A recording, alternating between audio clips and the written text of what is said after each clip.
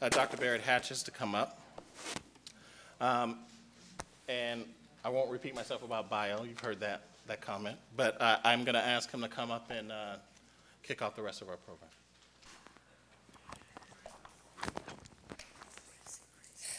Well, thank you, and uh, it's good to be back home. For those of you who have been involved with this project for over a year, and I've had the privilege of working with you, it's good to be here and, and uh, watch the unveiling here. It's certainly wonderful news that uh, Chet rolled out earlier. Uh, Always good to have the commitment and support of the Congresswoman uh, leading us here. And I just want to thank uh, all of you who've participated in this process uh, for a long time, and I hope you feel as good and as proud of the work that you have in front of you today as I do. And, but, but the most important part now is moving forward. We're fortunate today to have uh, some of the people in the room that we all talked about as we were going through these discussions, uh, in the sense that it would be interesting to know uh, their perspective. And uh, I think what we're going to, to do here today will sort of at, start to answering those questions for us and uh, help us move uh, in, the, uh, in the direction that we're all uh, very interested in getting to. So because we have an hour and we have uh, leaders on this panel, uh, I'm going to ask that, uh, uh, you know, you, you sort of hit that question and, and move on. Because I'm a really nice guy, and it's hard for me to say stop.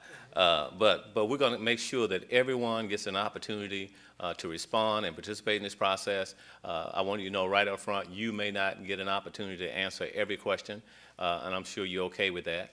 Uh, some of these questions, some of these questions, I think uh, all of you are going to get an opportunity to, to respond to. So let's just start out by me first introducing. I'm sure everyone in, in the room know you, so I'm not going through your bio. I'm just going to mention you by name and position and, uh, and the organization that you represent. We're going to start uh, with Bob. Uh, well, I call him Bob. I think everybody calls him Bob, right? Robert on the front end, who is uh, Executive Director of CARES. And then next to him is Robin Affrime, who is the CEO of CommuniCare Health Centers. And next to Robin is, uh, they switched seats on me, but Dr. Claire uh, Pomeroy, who is the CEO uh, of UC Davis Health System. Next to Claire, uh, everyone knows Jim Ellsworth, who's the interim CEO of Capitol Community uh, Health Network. Next to Jim is Ron Groepper, who's Senior Vice President and Area Manager of Kaiser Permanente. Next to Ron is Kevin Vaziri, who is President uh, Woodland Healthcare, a Dignity Health member. And I just want to say this about Kevin right now. He has a real hard commitment after this, and he's going to have to leave at, at 3 o'clock. And I want you to know that now, so if he gets up at 3 o'clock and leave, I want anybody to think he's mad. and we want to make sure he gets a chance to, uh, to say uh, a, a lot before he leaves here. And then next to uh, uh, Kevin is Carrie Owen Plietz. You got it right. Congratulations. Hey, how about that? Thanks to Abe. He was really concerned too that I'd messed this all up. Uh, who is CEO of Sutter Homes uh, Health Sacramento uh, Sierra Region. Let's get right into it. And first thing I want to do, I want to give everyone an opportunity to participate in this question. You have um, you've seen the, the presentations here today. You've seen a lot of data before. You certainly have had an opportunity to be familiar with uh, the market analysis and the strategic plan. And I'd just like to get your reactions to what you've seen so far. So if you would, we'll just start on the end and work our way across this panel and just take uh, a couple of minutes. I, I mean, literally two minutes, and just, just respond to what you've seen so far. Bob? My first reaction is uh, we as a community and health systems, cl- clinics have got a lot of work to do for sure. There's no doubt about it. And because uh, I come from a, a clinic that is a very close collaborative relationship with the four hospital systems, they're all my bosses. They sit on the board, or they have. So we're very close to them. And I, I think about that collaboration and in the specialty area, which is HIV, which CARES is currently uh, involved in, how do I take that as a leader of a community clinic and expand it to a broader population?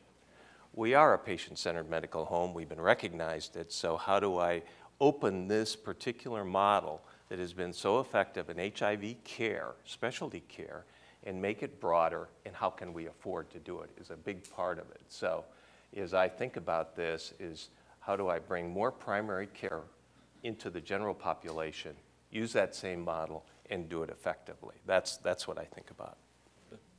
Ronnie? Um, Yeah, I thought, well, I think it's a good start, and we have a long way to go, actually, was actually my reaction. Um, And um, I, th- I thought that it, it actually brought up enormous opportunities. I, I was thinking, okay, what does this really mean, particularly for us in Yolo County? We, um, we don't always look at ourselves as participants in a regional collaboration. And when, when I say that, it's, it's this region. It's Yolo, Sacramento, El Dorado, and Placer. Geographically, it makes sense, but we don't always collaborate that way. And so that's, it's, that's going to be uh, really, that's a new thing, and actually, I think a really good thing, because the patterns of the people that use our services it is Sacramento, YOLO, and to, to a uh, large extent, particularly West Sacramento for us. And so I think there's, there's um, opportunities there, and it, that's going to take a lot of work. What I also thought of is that we do collaborate a lot, but we collaborate in our county, and we, and we as CommuniCare health centers collaborate individually with other community health centers and with other partners. We, co- we collaborate a lot with the four healthcare systems, but as CommuniCare health centers, and we collaborate with other community health centers. I mean, CARES is one of them. Um, so that, that's going to be a change to look at the whole region to collaborate that way. For us, it's really going to be, it's, it's different, it's new. Thank you. Dr. Palmer?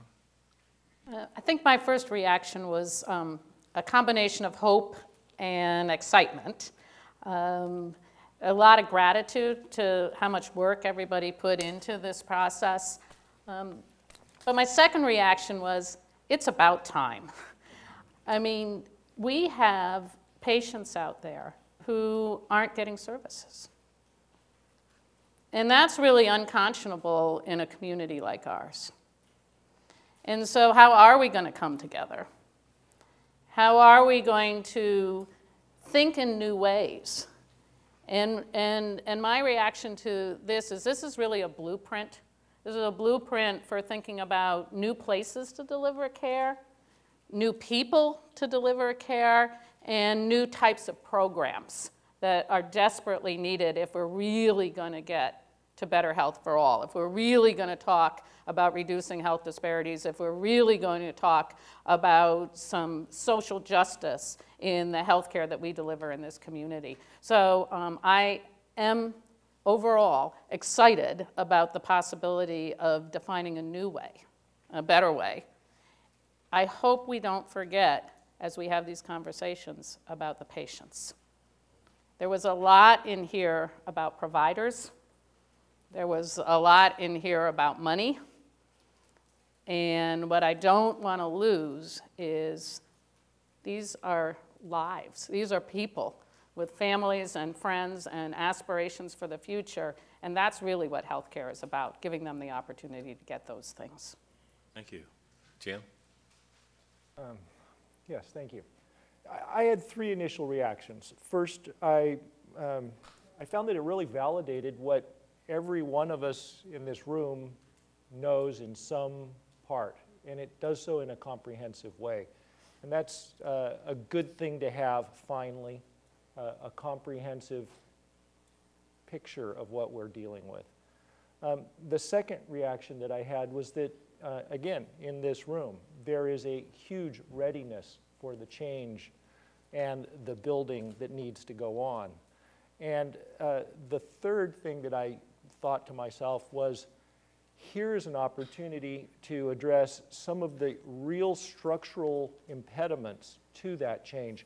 And I'm going to look at Congresswoman Dor- Doris Matsui and say, uh, there are things that need to change that can't be done by the people up here. It has to be done by lawmakers. Uh, and uh, I'd be prepared to talk about those as we answer more questions. Good. Thanks, Jim. Ron? I was experiencing all of the emotions that, and one good thing about being at this end of the table, you have very eloquent people that express a lot of what you said. So But we're gonna switch that up later. you know, by the time you get to me, you kind of wonder about what clever thing you could say. Uh, here was my thought, though. I was somewhat astounded when I saw the map and I saw the quantity of people that are going to be impacted. And being a practical individual, I immediately kind of started thinking about how a lot of facts and a lot of figures today, a lot of information that got presented. And I started to think through, you know, I work for Kaiser, and Kaiser is great at its integrated model, it's great at its preventative care. But how are we going to translate that experience now into this mass of population out there? And what is my role and my responsibility and my organization's role and responsibility within that greater context? Good, Thank you. Kevin? So uh, my reaction was to uh, look at uh, the report and see what I can do practically out of it uh, that uh, I can implement locally, act uh, locally and think globally. Uh, what I saw in there was really encouraging because there were some practical things uh, around care management which uh, we can put to use, and I'll share some of those experiences from uh, Yolo County, such as uh, the joint operating committee that we've put together with the FQHCs and with the county to ensure that the patients, the morning after an ED visit, can get in and can get access to a PCP or a specialist. Uh, there also uh, was in the report an acknowledgement of leadership, uh, coordinated leadership, never mind the care, coordinated leadership. Rewind four years or so, uh, the county had budgetary issues with its indigent program, the White Chip program in YOLO, and they were making decisions in their own silo to manage that budget, and FQHCs were faced with the same issue and changing uh, PCP coverage, and we uh, were doing the same at Woodland Healthcare. So each of us making those decisions in separation was sub-optimizing the whole and was causing lose-lose for all of us and ultimately for the patient. So I think coordinated leadership uh, and uh, uh, care coordination are the two areas that uh, I wanted to shine the light on and uh, was very, very encouraged to see that in the report. The one thing that we cannot act locally on in Woodland Healthcare is we're on a IT system that is different from the other major systems. And if we're going to have transportability of patients, we've got to find a way around that. And the other one is specialty care is as significant, if not more so, than PCP. Um, and so uh, we don't have the services in Woodland. So I can uh, wish to, to act locally as much as possible, but it's ultimately going to come to this kind of a forum to say what's going to happen to a pediatric oncology case that Woodland cannot handle. So I was very encouraged to see that get amplified because some things are not uh, possible to act on locally, IT and uh, major specialty cases. right, right, exactly. Thank you. And since I'm the last, you know, I'll just say ditto. No, I'm just kidding. um, you know, first, I think it's uh, Claire said it very well. I think it's optimism. You've got everybody in this room. You've got wonderful leadership. I see the, the county, many providers represented represented here. Congresswoman Matsui, it's great to see you again, um, and all of us up here. Um, some of us have been here for a while. Um, so just to, to be frank, and we've got some great best practices that we have done really well in this county, and great examples of how we've all partnered very well in building upon those. Um, but we are just in the infancy stages, and many other counties have really been able to figure this out. Um, and it's great to acknowledge that we don't have to create this in a vacuum. And so, using all of the great work that's already been done, all of the partnership, the leadership, um, with the optimism, we'll get to where we need to be. So hopefully five years from now, we'll look back and say we're the best practice that's out there. So I'm looking forward to that. Good. Thank you so much for your initial comments. Now, now let's take for a minute the, uh, not just what you've seen here tonight, but also your understanding of the Affordable Care Act and what it's going to mean. Uh, and, and so this is not the first conversation you've had about this. So just talk a little bit about um, what your organizations are doing now to prepare for the Affordable Care Act 2014? And just as importantly, uh, what kinds of uh, uh, changes do you think you're going to need to make, and what are you going to have to prepare for based on now this market analysis that you've seen?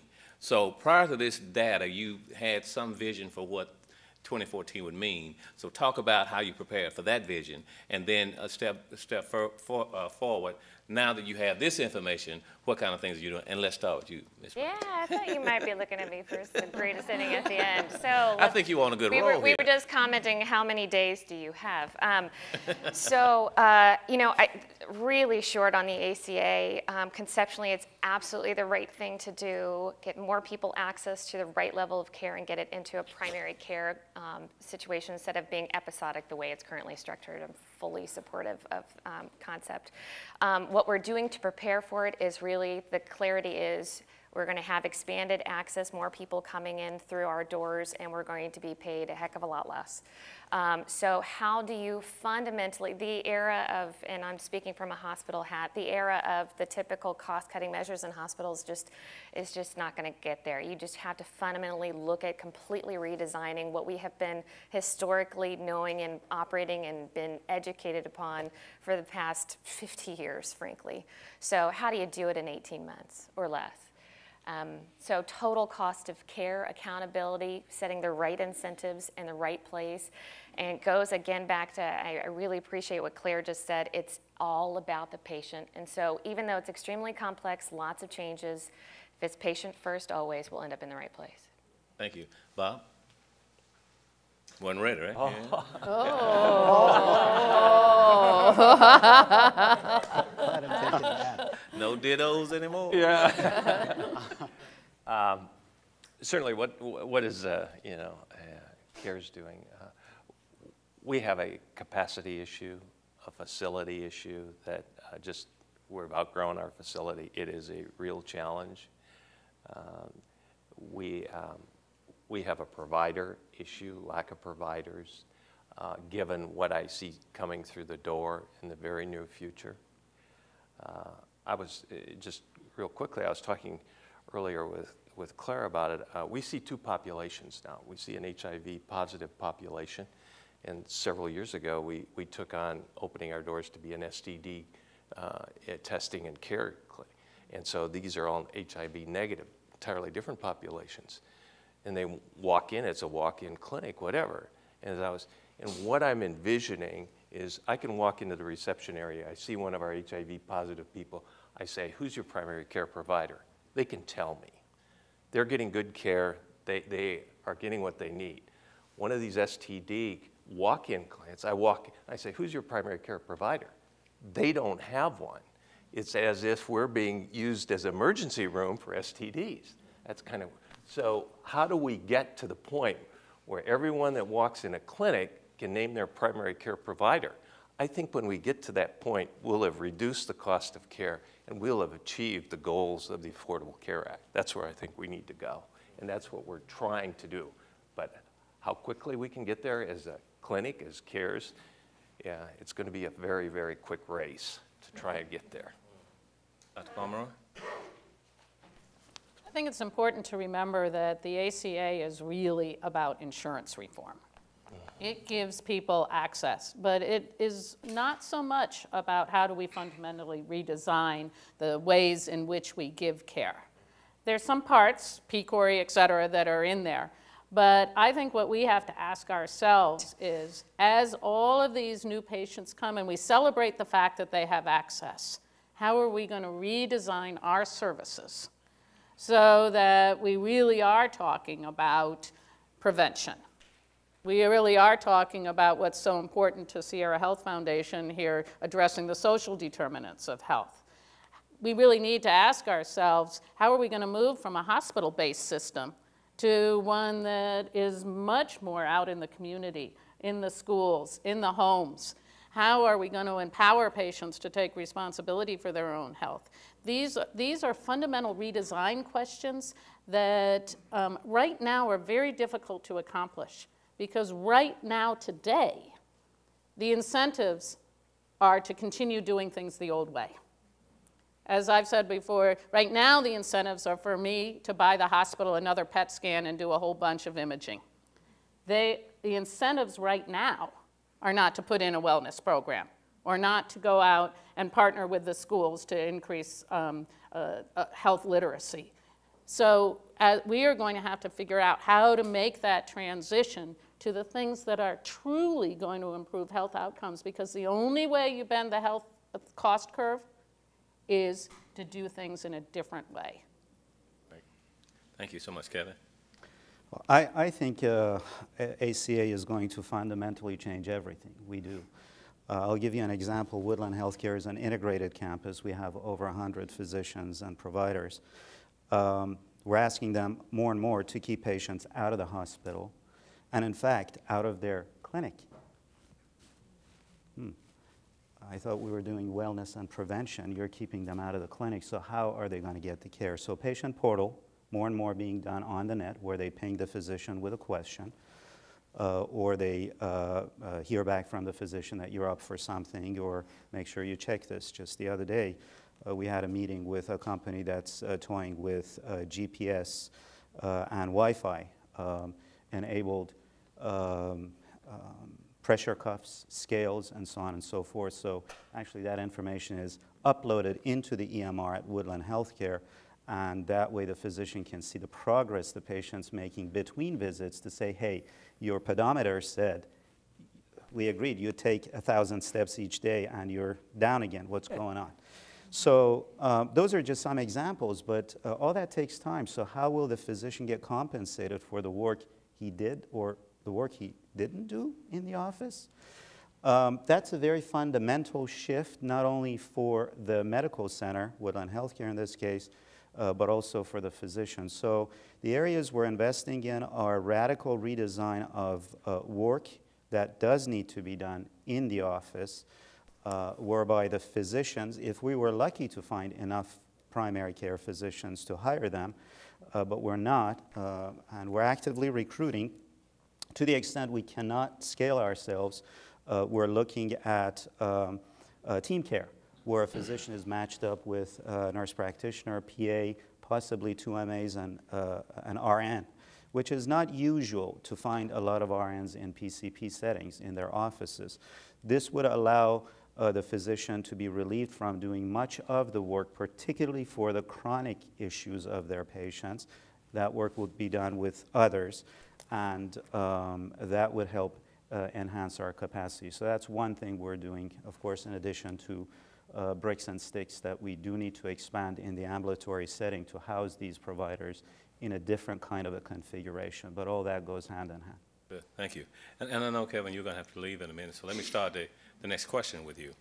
Um, one of the things uh, certainly that you saw in this presentation today uh, that came out of the work over the last year is this discussion around collaboration and the need to collaborate. Um, and, and all of you do that within your hospital settings, within and without. Also, uh, same thing with on the clinic side. Uh, this, this is the question though. Uh, if there was a group formed to sort of look at policy and program strategies around uh, the issues of the region as, as they have been identified. Uh, what would that group look like, and uh, who should be involved? Let's start with you, Kevin. Well, um, I'd say uh, the medical directors from each of the organizations involved would have a key voice in, uh, in, in this governance uh, situation because you need to identify the 80-20, which conditions, which diseases are really eating up uh, and consuming the dollars or needing uh, uh, more access.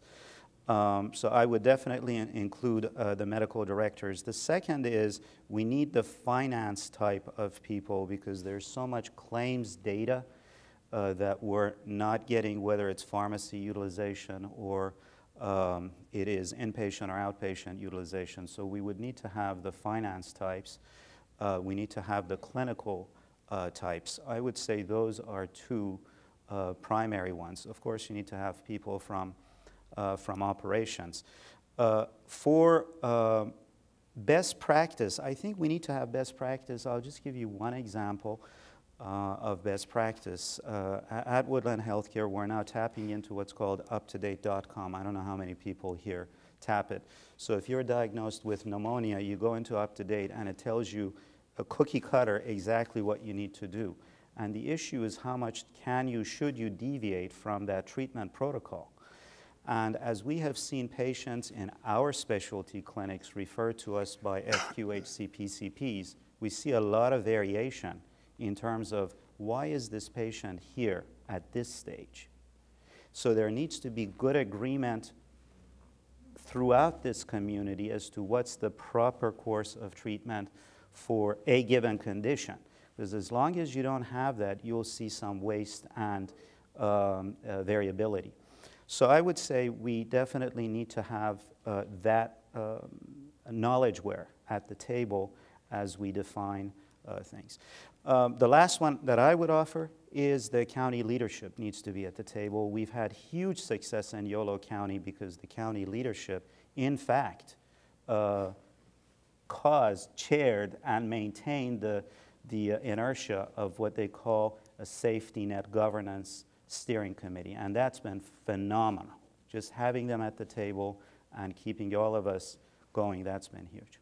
Great, great. I don't know you're gonna have to leave, so again, would you all say, give you applause? You, you leaving now? You're gonna stay? No, You I'm- can call and cancel the other meeting?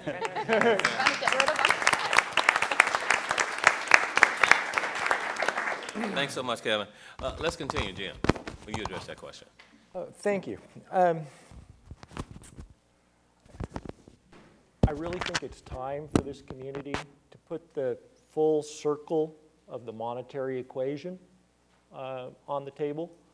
Um, The state needs to be involved. The health plans need to be involved. uh, The hospital systems need to be involved. The independent physician associations need to be involved primary care providers need to be involved, the specialty care providers need to be involved, and the enabling service providers need to be involved. And they need to be involved in an open and honest discussion with the cost and revenue data that is now being played poker with um, on the table. Because there is no rational way to divvy up the federal tax dollar without being transparent at this entire circle. And I include the enabling services because this is where we start addressing moving from acute care treatment to preventative care and enabling a healthier community through wellness programs. So enabling services that heretofore have had no business model uh, need to be included in that circle, and we need to develop a business model for them. Good, thanks. Robin? Um, Well, I agree with Jim. I'm, um, I'm not going to add to the types of people that need to be around the table. I, I will say two things, that there would be a lot of layers. There'd be a lot of different, um, different expertise that needs to be around the table. But I think what's really important is that whoever is there is not there to protect their turf. I think you really have to be there and willing to look at the big picture and to be willing to collaborate for the good of all of our communities and for our patients. Um, and so I think that's, that's so extremely important because that is not an easy thing to do all the time. And the other thing, too, um, just to build on what Claire said about the patient, is that as an FQHC, we have um, 51% of our board is consumers. And we learn a lot from our board members. And so I would say that there are very knowledgeable and articulate consumers out there who probably ought to also be at the table to, to, um, to balance what all of us as providers would, would be saying. Carrie, you want to weigh in on that one? Um, you know, I, I don't think I have too, too much to add, except for, we talked about a lot of people being at the table, and sometimes when you have too many people at the table, it becomes a point where you don't get a lot of stuff done. And I, um, so I think whoever is at the table not only needs to not protect their turf, but needs to be um, innovative, action-oriented, and um, uh, needs to be streamlined so you don't get bogged down with needing to hear 50 different views and try to get something done at the same time. Ron, you want to comment on that? I wanted to add just one piece to that. I, I just find it terribly intriguing. This morning I can go to Starbucks and use my phone, and up in front I can order my coffee electronically. I can go to the airport and get scanned in electronically. And yet, as a health system provider, I can have a test done in the office, but I can't see it in the hospital. I can have an imaging study. The, the cost that we waste in regard to the repetition, et cetera. So as we talk about this group, clearly we should have an integrated IT system expert that can tie these disparate systems together so that all of us mutually don't have to repeat and redo work that is inherently capturable with a single incident and we move on. Great. Dr. Pomeroy? So my answer is a little bit different than everybody else's answer. And it's based on the fact that, um, well, we all lament that we pay 16% of our GDP for healthcare in this country, which is twice as much as any other developed world. If you add up what we pay for healthcare with what we pay for social services, it actually comes out to the very average amount for developed countries. The total of healthcare plus social services is the same. It's just what we spend it on. So we spend it uh, downstream on healthcare instead of spending it upstream on social services, which will improve health. And I think those are the social service providers, some of those enabling services that you referred to, but also the school leaders, the NGO leaders, the government leaders, the um, experts on, on the economy, the experts on job programs, um, the expert urban planners on how we build our communities. So I think that as long as we talk to ourselves, we're not going to get to the fundamental redesign that I was referring to earlier. We need to broaden the scope of the way we think about health. Bob, you want to weigh in on that? Uh, The only other group that hasn't been mentioned, and it's not clear to me what role they could play, but I think about our health plans and and how should they be involved as we redesign this? And I wouldn't disagree with uh, the other comments that were made, certainly individuals at the table, but um, if we we can't get the health plans involved in how the how the plans are designed, I I think that it's going to be a constant friction and problems going forward. Let me just ask this broad question, and, and, and this time, you know, you can kind of jump in, whoever wants to go first. Um, you, know, I really appreciate what you all have said about collaboration in the in the region and how well it's working in some places, and and identified some of the players who need to be involved. Um, so, just a two, the second part of this question would be, where where can we use more collaboration, and and how can we do it more effectively? I think there are groups all over the place. I think people are working together. And in some places, they're working really well together. So those could be some best practices, some examples of how we do. But let's take, just take a minute and, and talk about where, where do we need more collaboration? How can we be, be more effective? Ron, you want to start that one? You would pick on the guy that started here a year ago. Because you're still going to be real honest. Uh, what I have seen in this community in comparison to the places that I have been before is a rich history of collaboration.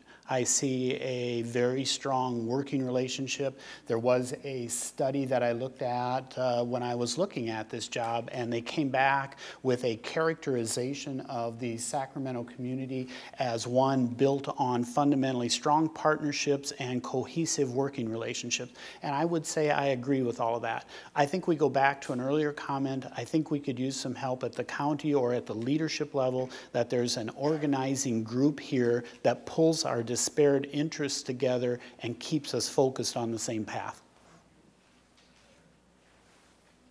Looking at me. Yeah. Uh, I, I would agree. I think we've got some great examples of very strong partnership. Um, I can't say um, anything more positive about um, Sutter's relationship with the effort. I think they are fantastic, and we have many other partnerships, but we do some very, very innovative, creative things that are really uh, best practice. So I just have to highlight that again. I think Jonathan's out there. Um, if we can take that type of partnership and continue to just explode that and use that in so many different settings, I think there's more um, also that we can be doing on the IT side. There are examples of how that is done very well in other counties and other communities. Um, and right now, that is a lot of waste in the system. And again, it goes down to patients, patient first. Always. If there is a patient who's coming into an emergency room at Kaiser but needs a specialty service at UC Davis or something at, at, at Sutter Health, to not have things be repeated. We just don't have the infrastructure. So I think that is a non-turf, you know, issue that we could really get around and there's already demonstrated best practices out there we can just steal from. Thank you. Jim? Oh, This is my opportunity for a whole bunch of shout outs. Uh, There are so many good examples of uh, collaborations, and the real issue is, once you identify the right ones, how do you scale them and sustain them long-term? Um, I noticed Jonathan nodding his head, and I did, I looked at your hand to see if you had any tomatoes in them because you told me you were going to lob tomatoes at me if I used the phrase safety net. and yet, this is where we're I'll- building the safety. oh no, security. Um, um, this is where we're building uh, uh, a safety net. Um, examples, great examples. Um, Sutter and the effort and the T3 program. Uh, uh, helping patients establish medical homes. River City Medical Group and the hospital systems. Um, ramping up case managers, registered nurses, to help, again, patients find access and um, establish medical homes and treat chronic diseases. Um, UC Davis Medical School supplying uh, young physicians and helping us grow our workforce and retain workforce with the effort and its day clinics, Clinica Tapita? Tapita? Padi. Padi, thank you, and Imani. Um, uh, Kaiser Permanente's uh, collaboration with Western Clinicians Network to create the Clinicians Library and Decision Support Tool. Uh, the, this uh, collaboration will help really overextended physicians um, manage uh, mid-level providers in a more cohesive way, uh, establish clinical protocols for patient treatment, um, and perhaps even um, alleviate a little burnout and loss from the workforce. So this is a, another collaboration that, again, we have to figure out how to sustain and scale them. Good. Thanks, Jeff. Dr. Pomeroy?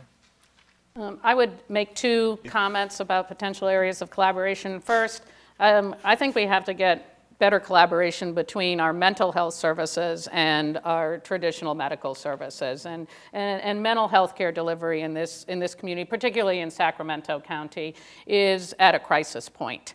And people are not getting the care that they need. So if we can't, we need, to, we must figure out how to collaborate um, with, with our colleagues uh, who are responsible for delivering mental health.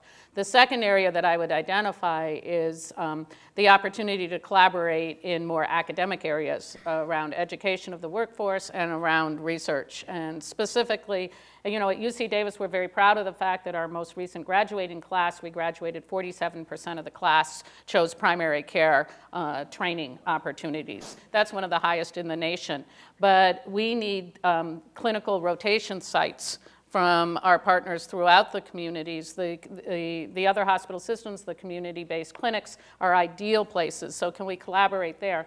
And, and can we collaborate around um, clinical research? Why not have a Sacramento-wide clinical research network where we do all um, put data in and, and find answers about both best practices, but new ways of doing things. I mean, I think there are real opportunities in there, and sometimes it, around education and research, it might be, there might be more comfort level for collaboration um, than around direct um, exchange of, of clinical services. So I would offer those possibilities to explore. Absolutely. Thank you. Robin? Um, Well, actually, I was going to talk a little bit about workforce development and then a little bit about a Yolo County example, but we, um, it's critically important that we train um, the, the coming generation, or then actually the next couple of years, of physicians and uh, nurse practitioners and PAs to want to work in the safety net, to want to work in community health centers. And to want to work for this population. It's critically important. And so what we've done, we have a very, I mean, it goes back since the Davis Free Clinic days, we've had a relationship with UC Davis, UC Davis Medical Center to train medical students and residents. And we're continuing to do that. We also train Sutter residents at our, our community clinics. And it's been wonderful because um, it doesn't happen all the time every year, but just enough we've influenced um, students and residents to want to go into community medicine. So we're very happy about that. And um, the other thing, I just wanted to, to use an example that we have in Yolo County about collaboration. And it was, we took a very specific problem. And we had the right people around the table. We had the commitment. We had funding from Kaiser, and it was our specialty care initiative. And because we defined this particular problem in Yolo County as access to specialty care for our, for our, uh, for our low-income, uninsured patients. So this is mostly about uninsured. And so um, we, when, when it was working, when it was really humming, we had everybody participating. We had really strong management. We had really strong case management. We Im improved access to specialty care. We reduced the no-show rate. We um, re, re, um, increased satisfaction by patients and by providers that provided the specialty care access. Um, but the sustainability of those kinds of projects, it's really what is difficult. Because if one provider it doesn't want to do it anymore, it, the, the whole system is pretty fragile, it can fall apart. So I just, I just wanted to say that it takes not only the initial best practice, but the ability to sustain those best practices and, this, and, uh, and with, with the right partners. Good, thank you. Next question. Uh, when you look at the data uh, from the market analysis and the st strategic plan, uh, one of the emphasis was on primary care coordination and integration as a key theme for improving healthcare in the region. So here's the question. If there were an agreement uh, that primary care in the region should be integrated, what needs to exist to make that a reality? Tim. It's a two-part answer for me. Um, first, uh,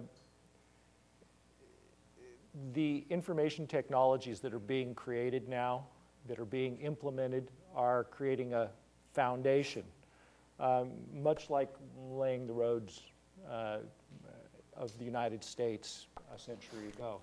Uh, we can't really tell what the effects are going to be, but they are going to be transformative and they're going to be tremendous. And we are just at the ground floor of that. As we um, implement, we will find ways to integrate. Once we've started the integration, we will reach a tipping point, and the benefits are unforeseen. They will be myriad.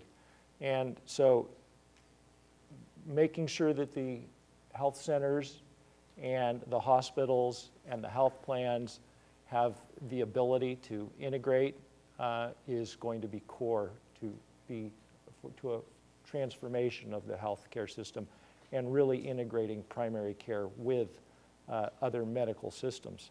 Uh, the other part of my answer is we have to integrate, once again, those enabling services, those community-based organizations, and health educators, and other prevention-minded services uh, into the medical system and find sustainable business models for them because as we move from acute treatment to prevention, they are going to be an integral and integrated part of it. And at this point, they really aren't. They work at the fringes. They're often grant funded, and their programs, um, as a result, don't get the follow through that they deserve.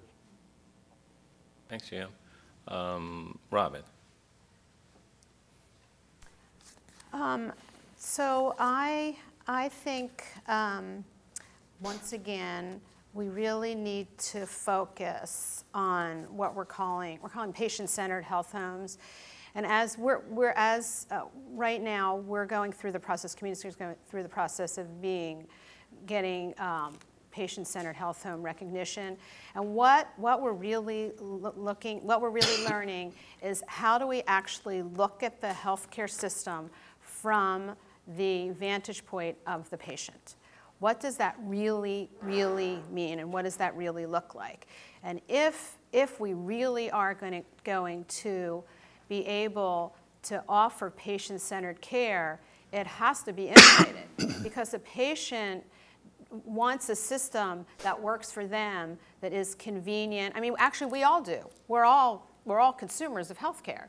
So I always think of myself, what, what would I, how would I, how do I want the system to work? Well, I want everybody talking to each other. I want to be able to get in when I want to. I want to see the doctor that, uh, or nurse practitioner that I want to see.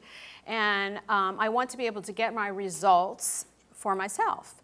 So we have, what we're looking at is those kinds of, um, we're looking at those, building those kinds of systems so that they really work for the patient and really actually um, electronic health records and, and HIE, health information exchange, is extremely important. We've talked about that a lot today. I know there's certain groups that are really trying to organize that throughout the, throughout the region. It is critically important that we, uh, all of us as uh, providers can talk to each other and then the consumers can talk to their providers and get the information that they want. I think that's really important. Thank you. Ron? I agree with everything that's been said, and I'd want to put a, a maybe just a little clarification or caveat. I think the current way we incentivize and respect our primary care doctors has to change every bit as much as this transformation we're going through with financing the delivery plan. I think for too long we have told our young graduates you need to go into specialty to afford to feed your families. I think for too long we have held on a very high pedestal the individuals that go in and do cardiac surgery, and, and rightfully so. I'm not trying to denigrate any of those, but I don't think in the same regard we have held the primary care physician with that modicum of respect that needs to be there. I think number two, uh, and I heard a talk yesterday at Kaiser where the physicians now at Kaiser, because of the Kaiser incentive plan, have set aside time in the morning and they do telephone calls to patients, they do video calls to patients as opposed to needing to bring them in the office. And of course, our current incentive system is well, there's no reimbursement for that.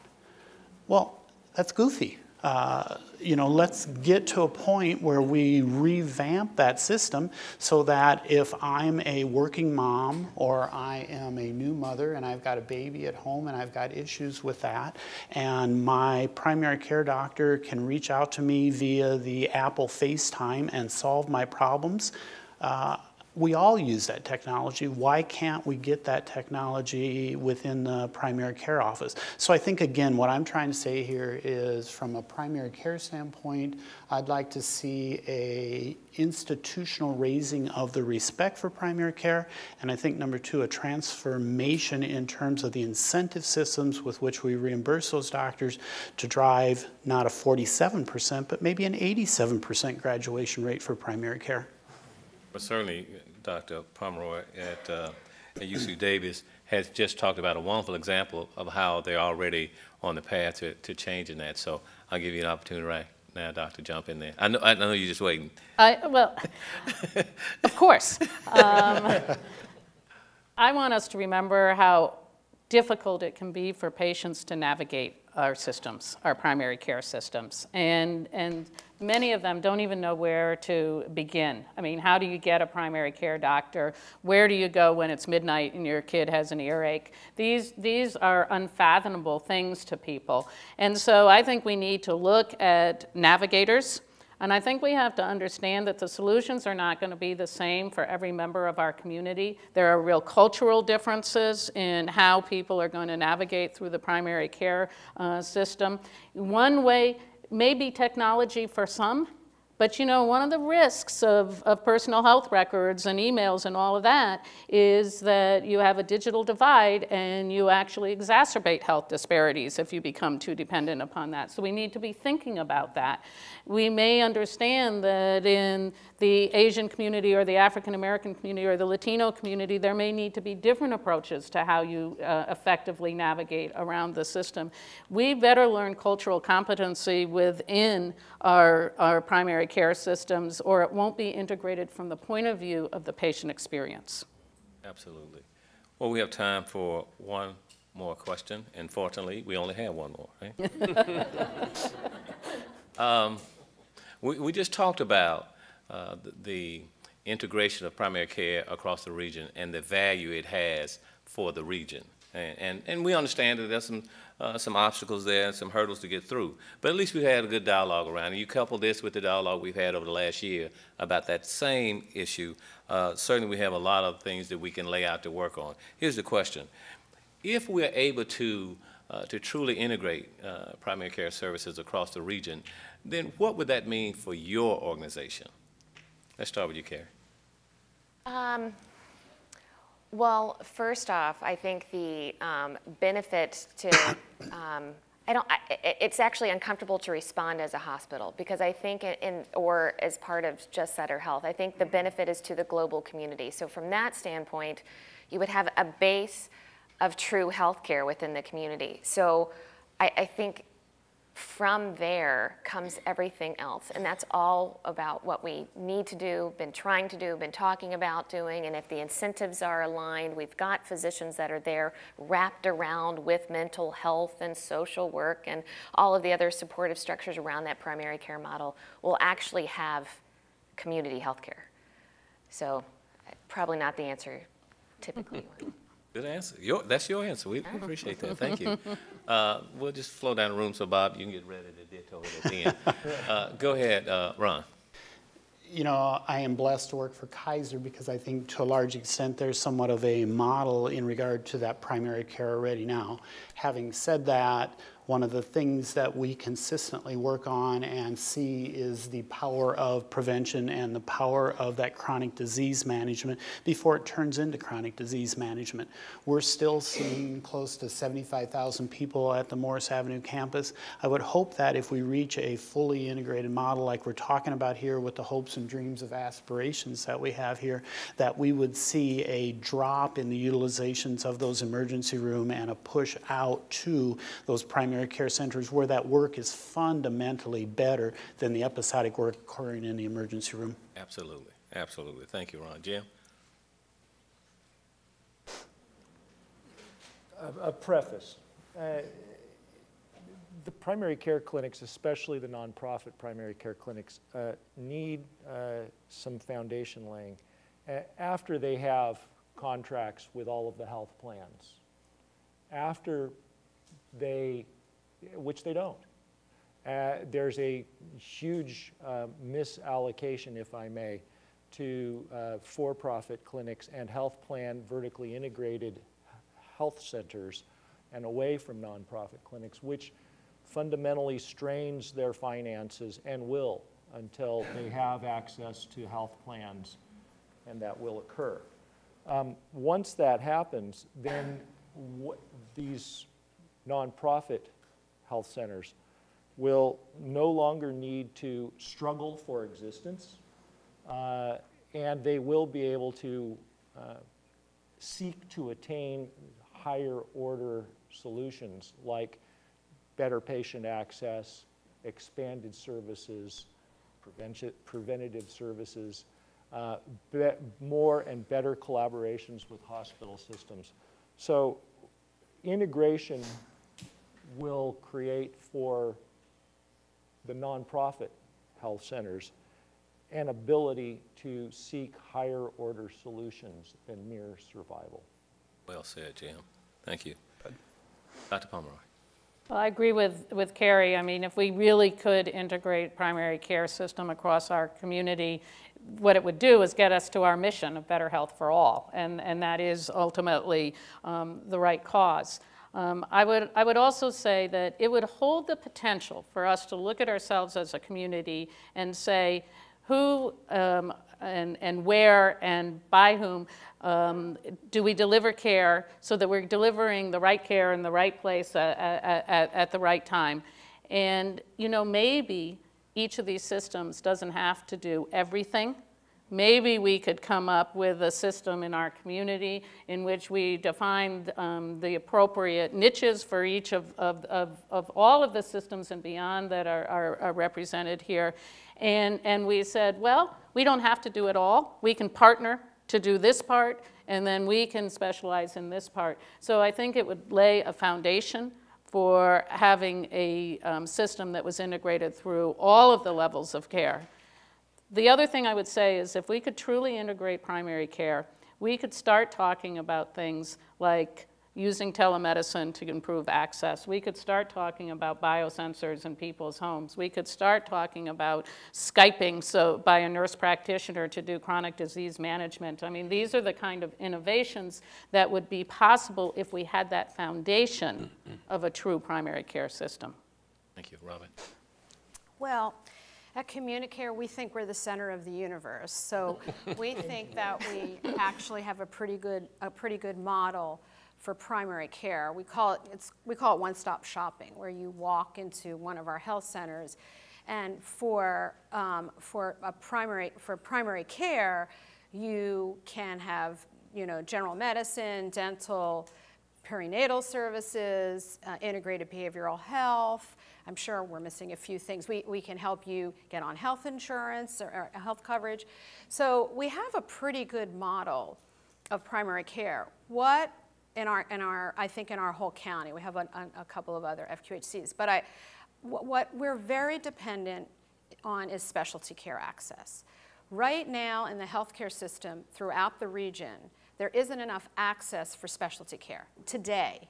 So when you think of the growth that is going to be happening when all these, all these newly insured people are coming into primary care, and I feel confident, at least in Yolo County, that we're already planning for expansion and building capacity. So I feel fairly confident we will be able to meet that. But the specialty care is what I find that I, I, find that it might be very difficult. We really need to think about this because we're, we are talking about primary care, and that's right, we should, because that's where all care should start. We should keep people out of the emergency rooms, and we should have prevention, all of those things. But, but honestly, a sick person does need access to specialty care, and right now, today, we cannot get a lot of people into uh, for specialty care throughout the region. So we really need to think about that level of care and how we're going to expand that and grow that capacity. Thanks, Robin. Bring us home, Bob. Great. Uh, CARES' uh, model is, is a, an integrated model of care, and we're very proud of that. But I'd like to build on, again, just follow on what, you know, kind of ditto what Robin said it's not only access to that specialty care, but it's delivering the results back to the primary care provider for delivery to the patient where we're very inefficient. And it goes back to um, uh, the integration of any sort of digital record system that CARES lacks for sure. And so it's very inefficient from the standpoint of if when we get someone into specialty care at a hospital system or, or some other clinic, just getting that results back delivered to the patient, it's a very inefficient way of doing business today. We could deliver much of the care inside of our four walls, but specialty care having to do with podiatry or you name it, it's not there. And then getting, the, getting in, getting the results back, getting it delivered. It's all about, you know, as Dr. Pomeroy and, we, and Robin talking about, it's about the patient experience too. Having to wait several weeks and not getting the results of a test.